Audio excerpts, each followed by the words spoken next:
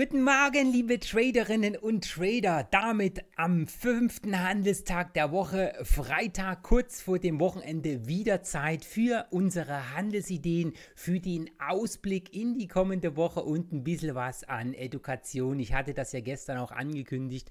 Heute blicken wir mal ein bisschen hinter die Kulissen im Währungstrading, das dann nachher im edukativen Part. Aber erst einmal schön hier wieder Live-Zuschauer dabei zu haben haben und wie immer auch die Einladung, wer gerne einen einen Wunschchart hat, wo er mal reinschauen möchte, einfach hier in den entsprechenden Medien die persönlichen Vorlieben mit eintragen. Rolf, Christian, freue mich. Einen schönen guten Morgen. Bevor wir in den Tag reinstarten mit unserer Handelsvorbereitung, wie immer der Risikohinweis hier in Gänze aufgeführt. Das Ganze bitte ich gerne auch zur Kenntnis zu nehmen. Der Handel mit Devisen und CFDs auf Margin der kann zu Verlusten führen. Schauen wir mal in die heutigen Tagesnachrichten mit hinein. Heute um 2.45 Uhr in der Nacht. André, einen schönen guten Morgen. Hatten wir die ersten wichtigen Nachrichten aus China. Da gab es den Einkaufsmanager-Index. Heute ist Tag der Einkaufsmanager-Indizes. Äh, ich schaue gerade mal oben rein. Prognose war 49,5. Aktuell ist er bei 48,3. Also schlechter ausgefallen als erwartet. Schauen wir doch mal, was im Laufe des Tages die anderen Pendants dazu machen. Wir bekommen um kurz vor 10 den Einkaufsmanager-Index hier im verarbeitenden Gewerbe für Deutschland den Rest auch nach hinten dran. Um 10.30 Uhr gibt es die ganze Geschichte dann aus Großbritannien. Äh, um 10 Uhr kriegen wir dann in Deutschland einen Einblick in die Entwicklung der Verbraucherpreise und dann geht es am Nachmittag in den USA weiter. Wir bekommen heute die Non-Farm Payrolls hier, Beschäftigung außerhalb der Landwirtschaft, in dem Zusammenhang natürlich auch gleich nach die Arbeitslosenquote. Ich persönlich rechne da nicht mit großen Überraschungen. Äh, für mich hat der Event momentan so ein bisschen äh, seinen Spannungscharakter verloren, weil wir halt in der guten Phase sind, dass der Arbeitsmarkt wirklich sehr, sehr, sehr gut ist. Äh, ich würde sagen, Überraschung wird es dann geben, wenn wir plötzlich schlechtere Zahlen bekommen würden. Das kann schon deutlichen Impact haben. Ähm, ich sehe gerade noch ein paar weitere Zuschauer mit drinnen. Steffen, guten Morgen. André, super. Christian, Euro, Australdollar, gucken wir nachher einmal drauf. Ist ja eine meiner Lieblingswährungen, weil ich ja, mit Australien irgendwo meine zweite Heimat gefunden habe. Von der Seite her bin ich da sehr, sehr äh, eng an diesem Markt äh, und trade den auch immer wieder, weil er sehr, sehr schöne Möglichkeiten gibt, in Ruhe und Entspannung das Ganze mit zu traden. So, zurück jetzt zu den Nachrichten. Ähm, in der höchsten Relevanz sind wir jetzt hier sozusagen durch. 16 Uhr gibt es noch in den USA den Einkaufsmanager-Index.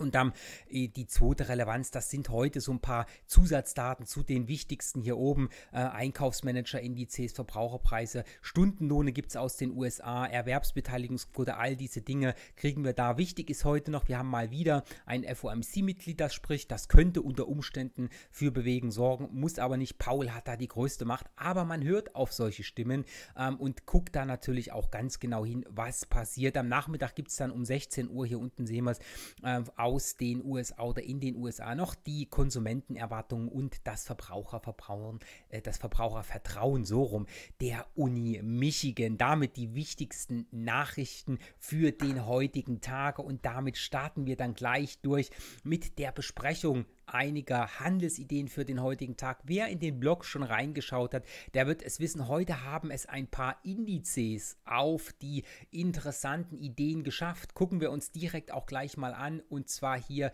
starten wir wie immer im MetaTrader von Tickmill mit dem Add-on im Stereo Trader. Und da blicken wir zuerst auf den Index von Australien. Da gucken wir nachher auch noch auf eine Währung. Ja, AUS 200 das Kürzel, ASX 200 der Name des Index. Hier ist etwas Programm geworden, was für mich sehr, sehr interessant ist, aus einem wichtigen Grund. Schaut mal, wir haben hier oben die wichtige Marke von 5000 über den Daumen, 940 Punkten. Das ist ein wichtiger Punkt. Warum? Schaut mal, hier lief der Abwärtstrend runter schön nach unten gelaufen. Und das ist hier eine wichtige Marke. Hier ist ein Widerstand drin. Ne? Hier war das erste Korrektur, hier war das zweite Korrektur. Das ist schon sehr, sehr wichtig. Wenn wir uns diesen Tagestrend hier anschauen, sehen wir auch, der ist gebrochen. Alles kein Problem, alles schick. Wir haben hier auch weiterhin einen gut existierenden Aufwärtstrend. Aber, und jetzt aber, hier kann was ganz Wichtiges passieren. Nicht, dass der Markt jetzt einfach hochschnäpsen kann und diesen Aufwärtstrend fortsetzen kann. Das wäre grandios. Das wäre richtig schön zu sehen, dass wir hier die Dynamik hochbekommen. Äh, Australien ist ja auch ein Rohstoffland. Steigende Rohstoffpreise sind auch gut für diesen Index. Wenn wir drüber gehen, klasse, setzt sich dieser Aufwärtstrend fort. Das heißt, was hier unter Umständen passieren kann, ist, dass wir hier so ein so eine Art, ich zeichne das mal ganz kurz ein, da mache ich mal kurz eine andere Farbe, dass sich das etwas besser dann hervorheben lässt. Ich mache das mal eben in blau hier. Was passieren kann, ist, dass wir unter diesem Widerstand, den wir hier drinnen haben, einfach weil die Marktdynamik hoch bleibt, aber die Teilnehmer noch so ein bisschen überlegen, dass wir hier so ein Kontraktionsmuster bekommen. Ich nenne das Ganze Kontraktionsmuster, weil der Markt hier rangeht. Also hier, dass wir hier oben etwas Überlegung bekommen, aber der Markt stabil bleibt. Das heißt, so eine Kontraktion könnte so aussehen, dass sich das Ganze abflacht äh, und dann quasi entweder hier gleich beim nächsten Mal drüber geht oder vielleicht sogar hier oben noch einmal ein kleiner Zacken drunter kommt, dass wir hier noch einen noch flacheren Zacken haben ähm, und das Ganze dann nach oben schieben. Das ist interessant, das kann hier passieren. Da müssen wir so ein kleines bisschen auch beachten oder beobachten, was der Markt hier macht. Hier formiert sich an diesem Widerstand irgendwas. Das ist das eine. Das heißt, mit Blick auf den hier jetzt laufenden Aufwärtstrend auf Tagesbasis ist wirklich aktuell noch alles in Ordnung, alles schick. Jetzt kommt das Aber. Wir gucken mal ganz kurz in die Woche, weil dieser Widerstand, der hier da ist, der ist ja natürlich auch im Wochenchart ersichtlich. Und wenn wir uns mal diesen Abwärtstrend hier in der Woche anschauen, dann sehen wir momentan, dass wir aktuell halt diese Marke, die wir da oben als Widerstand liegen haben, die wir im Tageschart gut erkennen können, dass das auch eine wichtige Marke im Wochentrend ist. Und das hat eine gewisse Relevanz. Und wir sehen hier momentan, noch keinen Druck nach unten. Aber, und jetzt kommt der Punkt, warum ich da so genau hinschaue. Wenn wir doch nicht sowas wie hier oben bekommen, dann könnte es hier einen Doppeltop geben. Und wenn sich hier ein Abwärtstrend bildet, dann könnte es erstmal sein, dass wir wieder ein ganzes Stückchen Downside Potential haben. Heißt also, dann müssen wir schauen, wenn wir unter diese Marke hier von 5820, das ist das Tief hier unten drunter laufen, dann hat sich hier untergeordneten Abwärtstrend gebildet. Heißt also, dann haben wir dieses Konstrukt, was hier nach unten läuft.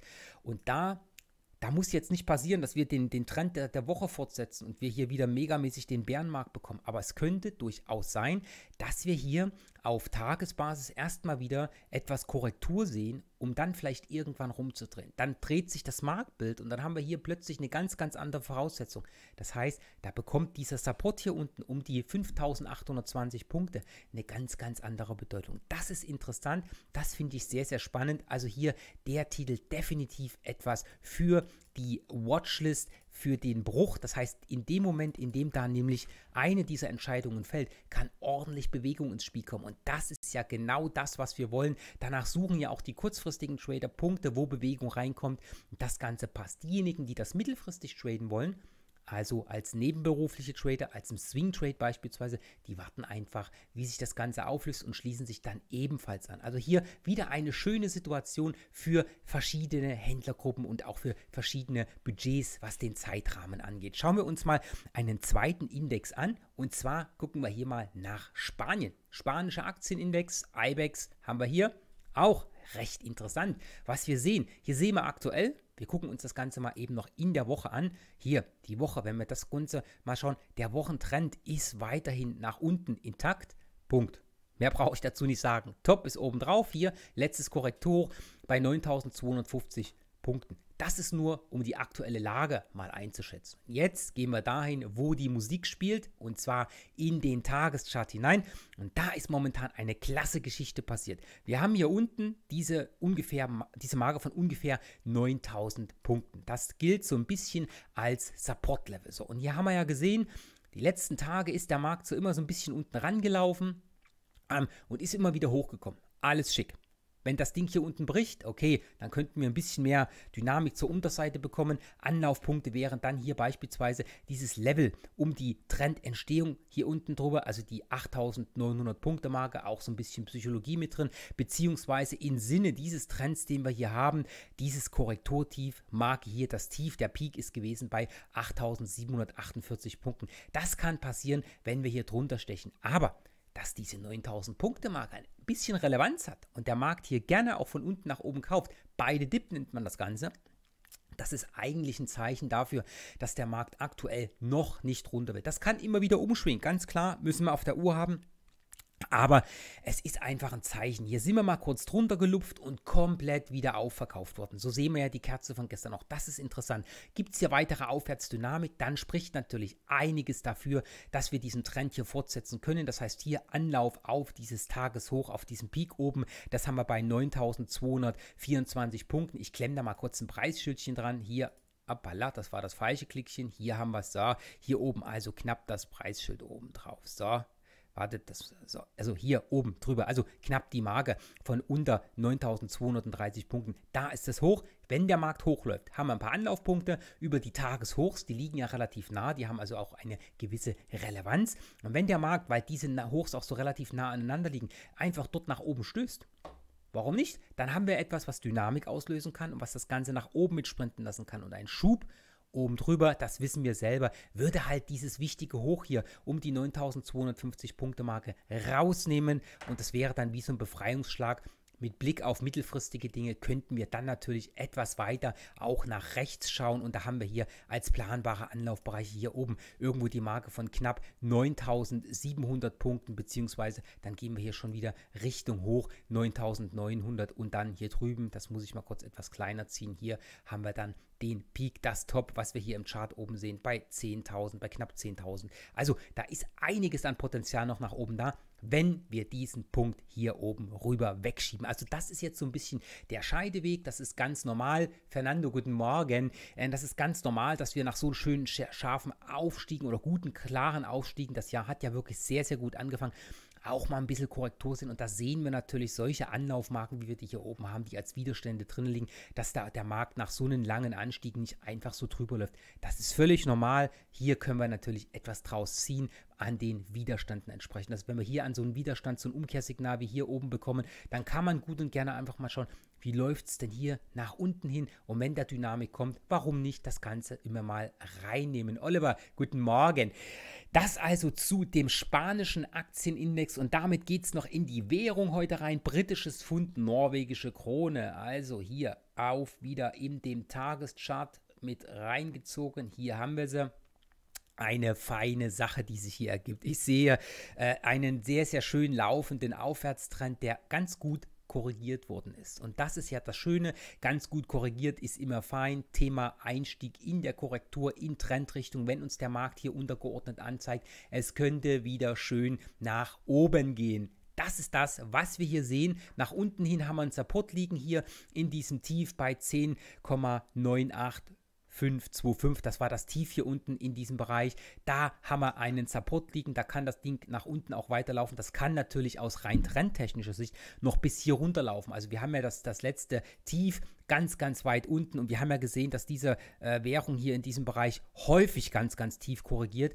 Aber wir bekommen hier halt einen Index oder beziehungsweise eine Anzeige, eine Indikation, dass der Markt rumdrehen will. Woran ich das erkenne, das sehe ich hier in der Stunde. Da sehen wir halt, dass der Markt so leicht nach oben schiebt. Das haben wir gestern schon gesehen. Erster Anschubpunkt. Und wenn man sich das Ganze technisch einfach mal anschaut, wir haben hier schon den Schub nach oben und wir haben die Korrektur gehabt. Wir haben einen weiteren Schub nach oben, noch eine Korrektur. Jetzt trennte der Markt wieder hoch. Wenn sich das Ganze fortsetzt, wäre das dann gewissermaßen quasi die Bestätigung. Das heißt, wenn wir hier oben über diese Marke drüber laufen, die wir hier liegen haben, dann setzt sich diese Aufwärtsdynamik nach oben fort und das wäre dann mit Blick in den Tageschart auch die Bestätigung, dass wir hier hochlaufen wollen. Anlaufpunkte nach oben hin zur Planung für die kurzfristigen und auch die mittelfristigen Trader sind natürlich hier ein paar Tageshochs. Hier haben wir das Tageshoch von gestern liegen. Das liegt um die Marke von 11,097 5,9. Also das ist der Top hier oben. Und dann haben wir noch ein paar weitere Tageshochs, die uns auf dem Weg nach oben begleiten könnten. Und das sind jetzt hier nicht nur Tageshochs, sondern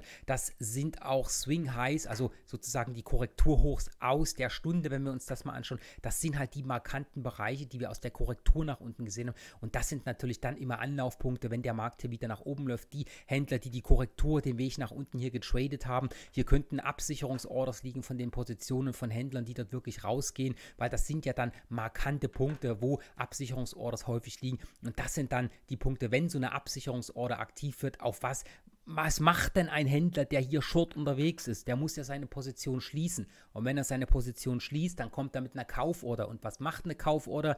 Die erhöht die Nachfrage und das kann dann natürlich den Preis nach oben bringen. Die Marken haben wir hier liegen. Sehr, sehr schön im Chart entsprechend auch ersichtlich. Also gut für die Planung hier auch in diesem Währungspaar britisches Pfund norwegische Krone. Jo, das zu den Handelsideen für aktuell.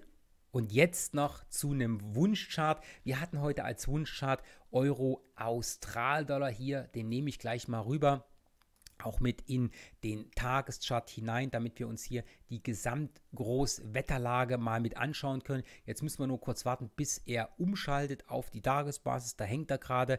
So, hier haben wir jetzt den Euro Austral oder drin. Jetzt klicke ich mal noch auf den Tag. Hier haben wir auch, also manchmal passieren echt zu so verrückte Sachen, wenn man sich so eine Spikes anschaut. So what, es ist wie es ist, aber das war ein Zeichen, das war dem Markt zu hoch. Danach ist er direkt wieder nach unten gegangen. Was sehen wir hier? Hier gab es übrigens vor kurzem ähm, wieder auch eine sehr, sehr schöne Situation zum Einsteigen, aber nichtsdestotrotz, wir sind ja heute, wo wir heute sind. Also hier oben kam dieser starke Schub nach unten an dieser Stelle, äh, hier in diesem Bereich und dann hat es entsprechend auch angefangen zu trenden. Das ist hier an dieser Stelle immer auch ein bisschen unsauber gewesen. In der Stunde sieht man das Ganze dann auch noch relativ gut. Äh, und dann gab es halt hier entsprechend den Druck nach unten, den Schub nach unten, ähm, das Ganze ähm, hier in dem Markt. Und dann hatten wir hier eine Gegenbewegung und die Trend Fortsetzung hier nach unten Richtung runter. Und das ist interessant. Hier oben hat man die schöne Umkehrformation. Hat auch ein bisschen gedauert. Das Währungspaar Euro Australier schwankt auch immer mal ein bisschen breiter. Das heißt, das kann man, sollte man etwas loser ähm, entsprechend auch handeln, wenn man diese Kerzen hier sieht. Ähm, von der Seite her alles schick und gut. Was sehen wir hier? Wir sehen hier momentan einen abwärtsgerichteten Markt. Der hat hier diesen kurzfristigen Schwung nach oben rausgenommen. Das heißt, diese Kette hier ist zu Ende. Hier sind wir an den Hochbereich rangelaufen, wieder nach unten gerät. Der Abwärtsdruck kam wieder rein. Aktuell steht das Teil in einer guten, weiten Bewegung, korrigiert ein bisschen.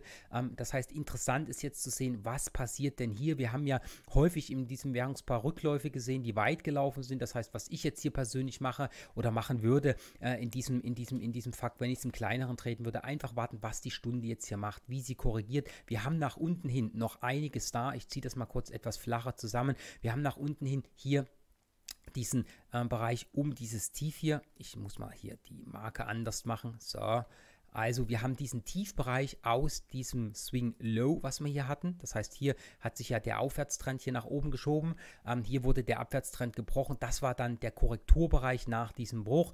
Das ist eine Anlaufmarke, da können wir kurzfristig problemlos auch ranlaufen. Da könnte der Markt einfach weiter nach unten gehen, wenn sich der Stundentrend weiter nach unten fortsetzt. Ähm, mit Blick, wenn ich das jetzt hier sehe, sollte der auch nach abwärts gerichtet sein. Das gucken wir uns auch gleich an. Und dann natürlich hier unten weiter in den Markt geschwungen. Mittelfristig haben wir hier diesen Tiefbereich auch noch mit am Anlaufen. Marke hier bei 1,53427. Das sind auch Bereiche, die wir hier im Wochenchart mitsehen können. Wir müssen halt an dieser Stelle einfach noch sehen, was hier im Wochenchart passiert. Der ist ja bis dato weiterhin auch aufwärts gerichtet. Das heißt, diese Marke, die ich hier unten angeklickt habe, hat schon eine gewisse Relevanz, weil wenn sich das Ganze hier nach unten fortsetzt, setzt sich die Korrektur raus. Und wenn wir hier unten drunter drauf laufen, ich nehme mal kurz die anderen Linien hier weg, die stören aktuell etwas im Chart. Das heißt, hier haben wir den Punkt, wenn wir hier unten drunter laufen, unter dieser Marke, ist erstmal der Aufwärtstrend gebrochen hier an dieser Stelle. Also das ist auch ein Support-Level, der Aufwärtstrend auf Wochenbasis. Der Tagestrend hat hier natürlich deutlich Tendenz auch nach unten. Und was wir hier jetzt gesehen haben auf Wochenbasis, wir haben erst einmal definitiv ein niedrigeres Hoch gehabt. Das ist auch ein Achtungszeichen. Und auf Tagesbasis, wie schon gesagt, haben wir noch Potenzial zur Unterseite her. Es kommt jetzt also immer darauf an, welchen Zeit Zeithorizont man hier tradet. Der Abwärtstrend ist jetzt da, der läuft nach unten hin weiter weg. Wer das Ganze traden möchte in Abwärtsrichtung, muss einfach mal schauen, was die Stunde hier macht. Und wie schon gesagt, die Stunde, die korrigiert momentan ein bisschen. Hier hat sich untergeordneten Aufwärtstrend gebildet. Der Schwung der Stunde kommt hier Bewegung, Korrektur, Bewegung, Korrektur, dann hier weite Bewegung. Jetzt trendet er hier gegen. Also wir haben hier ja diesen Außenstab auf Tagesbasis. Das ist dieser hier, in dem bewegt sich momentan der Markt in diesem Bereich. Und das ist das, was wir hier aktuell sehen. Und wenn die Stunde jetzt beispielsweise wieder nach unten rumdrehen sollte, das heißt hier ein Umkehrmuster bildet, dann wäre das ein Zeichen, dass die aktuelle Bewegung auf Tagesbasis weiter nach unten fortschreitet. Und dann wäre im kurzfristigen Bereich selbstredend das Ziel, erst einmal hier das Tagestief von gestern zu testen und dann, wenn das Ganze nicht hält, wie schon gesagt,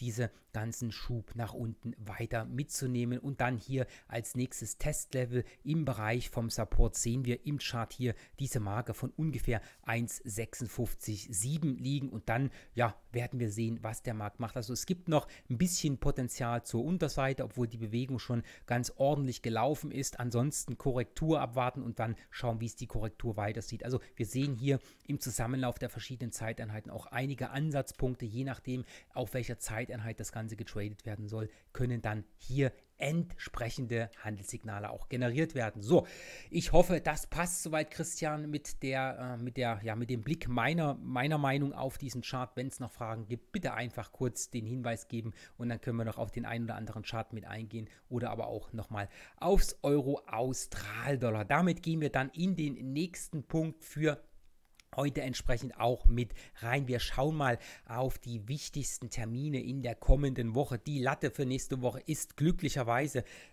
Entschuldigung, nicht ganz so lang wie in dieser Woche. Das heißt, alles bekommen wir hier auf eine Seite drauf. Wichtige Sachen, die wir hier sehen, sind am Dienstag aus den USA. Da gibt es den ISM Einkaufsmanager Index für die Dienstleistung im Januar. Am Mittwoch gibt es dann aus den USA die Baugenehmigung, die Einzelhandelsumsätze, das Bruttoinlandsprodukt und natürlich die Rohöllagerbestände. Und dann gibt es terminlich noch nicht äh, genannt den Auftragseingang für langlebige Güter. Also das mal die wichtigsten Nachrichten für die nächste Woche. Die kleineren, untergeordneten, die schauen wir uns natürlich immer wieder an, wenn wir jeden Morgen in die Handelsideen mit reinschauen. Ich gehe mal kurz zum Wasserglas und dann bin ich sofort wieder da. Der Frosch im Hals ist heute ziemlich aufdringlich. Ähm, wie geht's weiter? Wir schauen jetzt natürlich einmal auf die großen Indizes. Das heißt, wir gucken jetzt wieder in den MetaTrader rein und machen hier mal die Analyse. Bei den großen Indizes DAX fangen wir mal an, gucken wir mal, was wir hier im DAX noch drinnen haben, ob wir hier was Brauchbares eingezeichnet haben oder ob es chaotisch ist, nö, ich würde sagen, können wir nehmen, haben wir da, alles schick, können wir uns weiter drauf abstimmen. Was sehen wir hier, wenn wir uns das große Bild im DAX mal angucken, im Vergleich zur Vorwoche? Ja, nix. Muss ich so sagen, ist alles geblieben. Ist jetzt auch keine Überraschung. Ähm, die grundsätzliche Lage hat sich hier an dieser Stelle ja auch nicht verändert. Wir haben ein bisschen Volatilität drin, wenn wir uns gestern diese Kerze auch mal mit anschauen ja, die Schwankungsbreite ist da, aber wenn wir uns das Ganze mal nüchtern betrachten, ich nehme hier das Kleingekritzel mal kurz raus aus diesem Chart, wenn wir uns das Ganze hier an der Stelle nüchtern betrachten, dann haben wir einfach weiterhin sehr schön laufend einen Aufwärtstrend. Dieser Aufwärtstrend ist jetzt da. Der Aufwärtstrend, wenn er nicht bricht, setzt sich weiter fort. Das sind alles keine äh, Geheimnisse. Es kommt jetzt darauf an, wie es weitergeht. Das heißt, die Stimmung ist gut, der DAX etwas gebremst. Möglicherweise hängt das mit dem starken Anstieg äh, im Euro zum US-Dollar zusammen. Das könnte unter Umständen sein. Wenn wir uns die anderen großen weltweiten Indizes anschauen, dann sehen wir hier schon interessante Anstiege auch mit da. Ähm, also von der Seite her hier im Bild zu letzter Woche, da gibt es nichts viel zu sagen. Ist alles beim Alten geblieben. Da hat sich nichts verändert. Ne? Hier letzte Woche Freitag, da standen wir hier leicht mit dem den Peak nach oben, dann stehen wir jetzt hier. Es ist einfach eine Korrektur, die sich seitwärts erstreckt. Wir sehen, dass wir tingeln hin und her. Die Tiefkurse werden immer wieder abgekauft. Das heißt, hier kaum Veränderung zwischen den Eröffnungs- und den Schlusskursen. Also alles sehr, sehr flach. Schauen wir mal, wie die Woche hier ausgeht. Aktuelle Dynamik sehen wir eher lau, aber wir haben den Aufwärtstrend am Laufen. Und warum sollte der sich nicht fortsetzen? Mit Blick nach oben, wenn es weitergeht hier, nächste wichtige charttechnische und psychologische Marke hier ungefähr 11.500 Punkte. Wenn wir das dann wuppen, ist ein nächster wichtiger Fakt rausgenommen und dann haben wir hier oben schon knapp 11.700 Punkte. Also wir haben noch etwas vor der Brust, was wir durchaus nach oben anlaufen können bei positiver Dynamik. Das Ganze natürlich vorausgesetzt an dieser Stelle. So.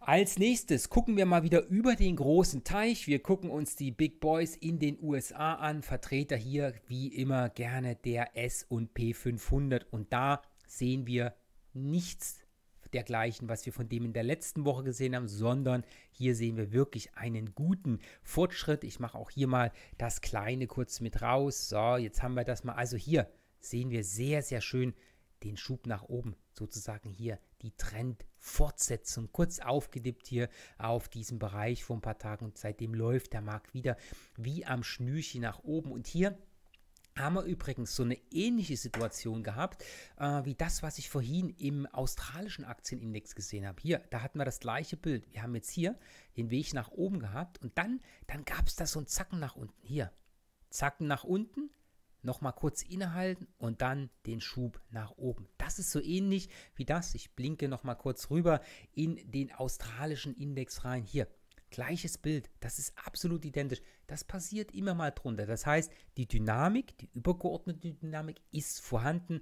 Der Markt wartet einfach noch ein Stück ab und dann, bap, schiebt es nach oben. Also genau das Bild, was wir hier im S&P 500 auch gesehen haben läuft wunderbar, hervorragend. Wir haben sogar hier das kurzfristige Zwischenhoch hier aus diesem trendigen kurzen Zwinker nach oben bei knapp 2700 Punkten rausgenommen. Da stehen wir drüber. Alles wirklich wunderbar. Das funktioniert hier aufwärtsgerichtet aktuell sehr, sehr schön. Wenn wir mal nach oben blicken, neuer, wichtiger Widerstandsbereich hier oben. Das ist jetzt natürlich eine wichtige Marke. Wir hatten ja hier lange Zeit im letzten Herbst dieses Band, dieses Ping-Pong-Band hier zwischen 2600 und 2800 Punkten. Anlaufmarke hier oben dann hier 2800 Punkte. Da ist der nächste Widerstand da. Bis dahin gibt es nicht wirklich viel.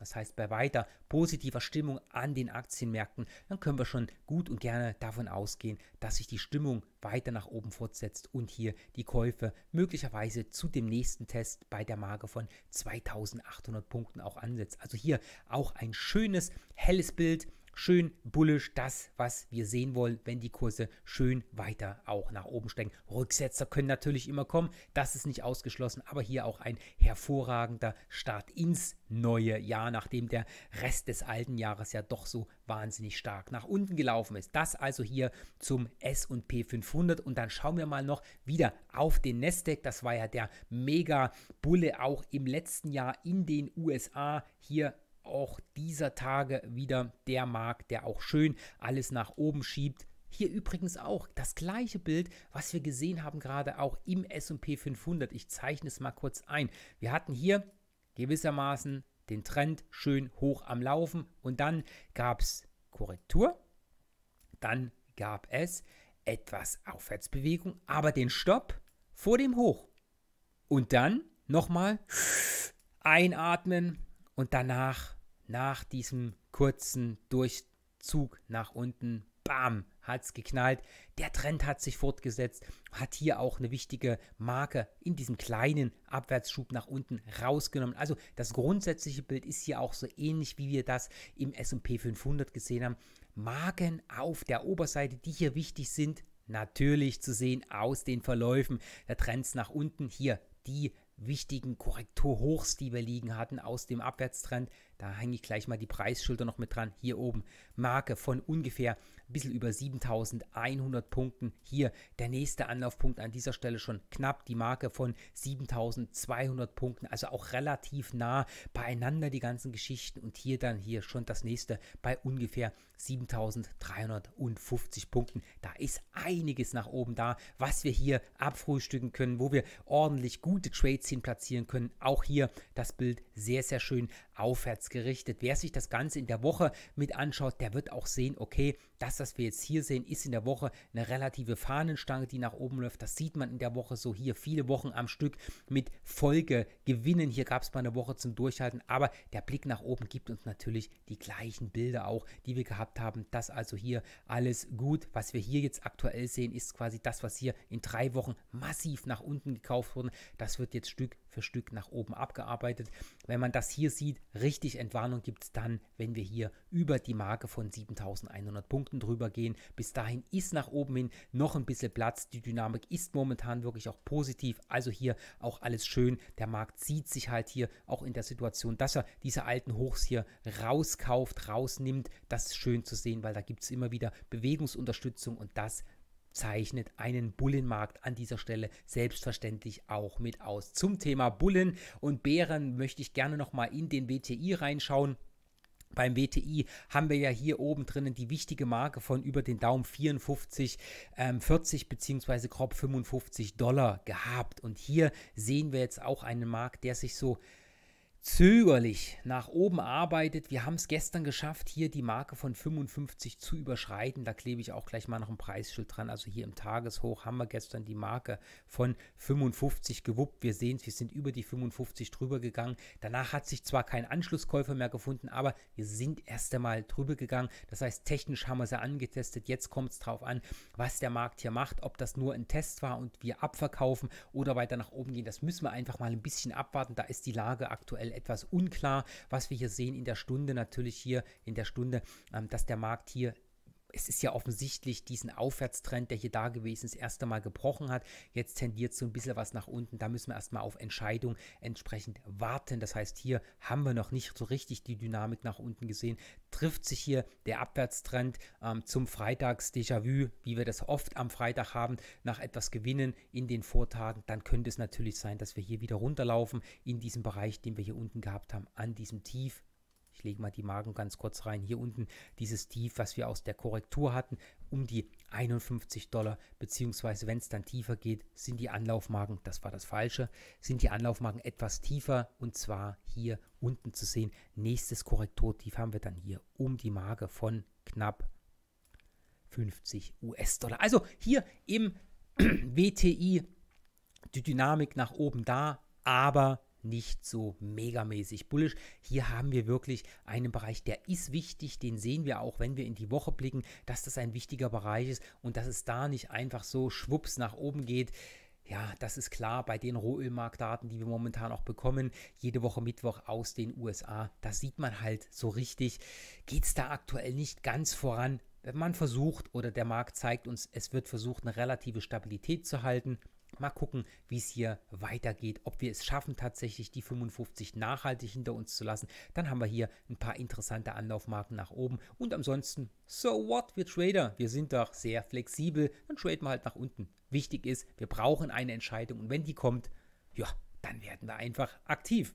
Also das zu den großen Indizes und ein bisschen was zum Öl und damit gehen wir weiter in dem Text, nämlich dahin, dass wir den edukativen Part uns anschauen. Heute hier ein kleiner Blick da rein, wie der Forex-Markt funktioniert, wie ein Trade abgewickelt wird, wie das Ganze gut und gerne planbar ist, auch für jeden Händler. Ich mache jetzt hier technisch wie immer für diejenigen, die das Ganze auf Facebook auch anschauen, beziehungsweise über GoToWebinar technisch kurzen Aufnahmestopp damit ich dieses Video geteilt dann entsprechend in unseren YouTube-Kanal einstellen kann und dann bin ich sofort auch wieder da mit dem Thema für den edukativen Part.